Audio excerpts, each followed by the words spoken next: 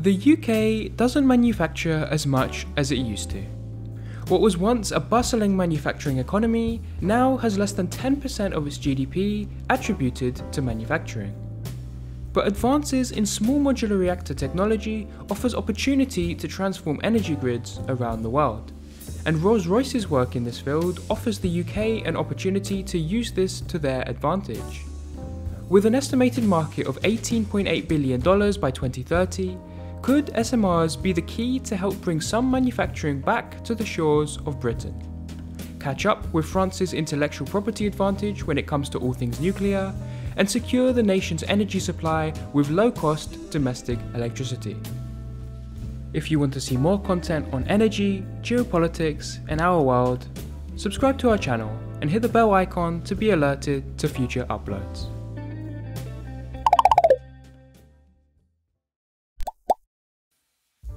Small modular reactors, in principle, are very promising. At its core, an SMR works in the same way as a larger nuclear reactor, using uranium dioxide as the fuel source to create carbon-free baseload power, but without many of the negatives associated with larger nuclear power stations. SMRs are factory-built mini nuclear reactors that can be shipped to site and set up in a matter of two to three years far less than larger plants which can take decades to build.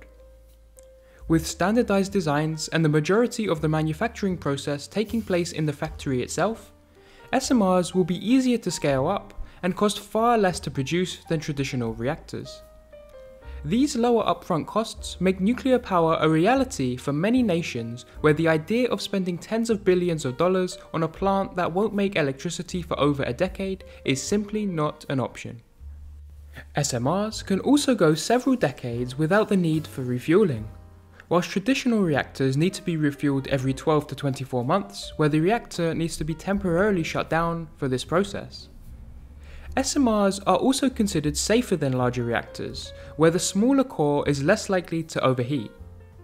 Often called meltdown proof, as the passive, often water coolant system can function without an external power source or operator to do so. This avoids situations where power plants face a meltdown risk if they are cut off from the electrical grid, which we have seen several times in Ukraine at the Zaporizhia plant. The lower volume of water needed in SMRs also allows them to be built in more remote areas, which larger plants don't have the luxury of. While small modular reactors sound like an answer to our energy needs, they could be, but the technology is not quite at the stage where it's ready to be implemented at a large scale. Currently, there are only two operational SMRs in the world, one in Russia and a more powerful 210 MW 2 module unit in China. But neither of these are commercially available. Altogether, there are over 50 SMR designs and concepts worldwide, but the IEA lists only 13 as having near term milestones and therefore potential real world applications. Of these 13 designs, the Rolls-Royce's UK SMR is not just the most powerful at an estimated 470 megawatt capacity, but it is in one of the more advanced stages with regulatory approval expected in 2024. A single reactor Rolls Royce power station is expected to take up no more than two full sized football pitches and be able to power 1 million homes, as well as enabling other industrial processes such as green hydrogen production. This level of electricity capacity is comparable to 150 onshore wind turbines, which would take up over 2,000 times more space. Not to mention that the UK SMR will produce constant electricity for 60 years. At a targeted cost of £1.8 billion per reactor for a capacity of 470 megawatts of electricity, the UK SMR model offers a far better return on investment compared to larger nuclear power stations, which do produce 1 to 2000 megawatts per reactor, but can cost in the tens of millions to build. A feasibility study carried out by the National Nuclear Laboratory concluded that by 2035, the market for SMRs within the UK could reach 7,000 megawatts of power, representing just under 10% of the nation's current generation capacity. This is power that doesn't rely on foreign commodities or engineering to produce and could significantly lower electricity prices for the consumer. This domestic aspect of the product is a core focus of Rolls-Royce's vision, who state that 80% of materials and components needed to build each reactor will be sourced from UK supply chains, supporting other British industries but also limiting the chances of global supply chain bottlenecks from delaying production of the reactors. But applications for this SMR go much further than just domestic use, with countries like Estonia, Turkey and the Czech Republic all having signed statements of intent to purchase these SMRs when available. Altogether, this program is forecasted to create 40,000 jobs within the UK and generate £52 billion in economic benefits. Skilled jobs the project would create are not just limited to manufacturing of the SMRs in the UK factories themselves, but include creating an expert workforce to commission and install these reactors.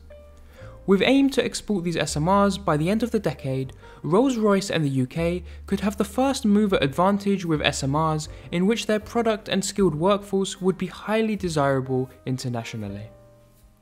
That's why this project is a great opportunity for the UK to develop its own expertise when it comes to nuclear power. Historically, France has held the intellectual property when it comes to nuclear power with the UK failing to invest adequately in this sector. EDF, the nationally owned French energy company, operates all five nuclear power stations within the UK, leads decommissioning of the country's older reactors, and is the majority owner of Hinkley Point C, the UK's newest nuclear power station, expected to be completed in 2028.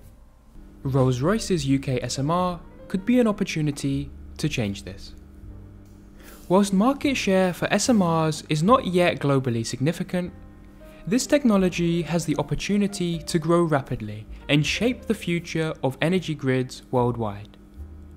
Whilst many other countries and companies are designing their own SMRs, Rolls-Royce's product is one of the more promising options, giving the UK a huge advantage to take market share in this sector. The UK government has already committed £210 million to Rolls-Royce for this SMR project.